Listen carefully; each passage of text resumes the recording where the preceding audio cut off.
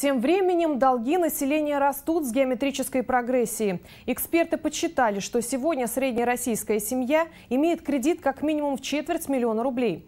Но вернуть эти деньги возможность с некоторых пор есть не у всех. Свежие финансовые выкладки экспертов воедино собрала Елена Кольцун. Она уже в студии.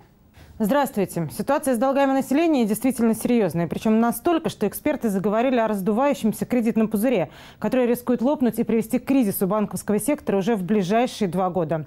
Итак, по данным экспертов ОНФ, которые сделали расчеты на основании данных Банка России и Росстата, рост кредитной задолженности россиян перед банками ускорился в два с половиной раза. С начала года общий объем долгов населения вырос на 9 с лишним процентов и составил более 13 триллионов рублей. В то же время время займы, выданные компаниями, увеличились на 5% и составили чуть больше 34 триллионов рублей.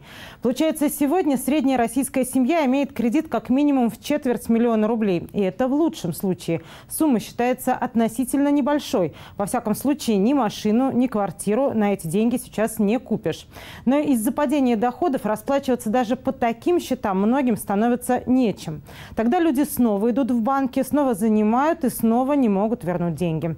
С этой привычкой экономисты рекомендуют срочно расстаться. Может, в этом и был какой-то смысл, когда процентные ставки по кредитам снижались вместе с ключевой ставкой. Так, с июня 2017 года по настоящее время данный показатель упал с 15% до 13%, а средняя ипотечная ставка, по данным Центробанка, сейчас составляет чуть менее 9,5%.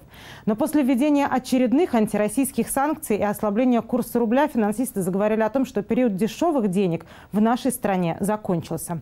Не исключено исключено, что ЦБ начнет постепенно повышать ключевую ставку, а значит и кредиты будут только дорожать. По прогнозу экспертов, в ближайшие месяцы нас ждет разгон инфляции, увеличение налоговых ставок, рост цен на бензин и дальнейшее ослабление курса рубля. А значит, платить по долгам будет еще сложнее.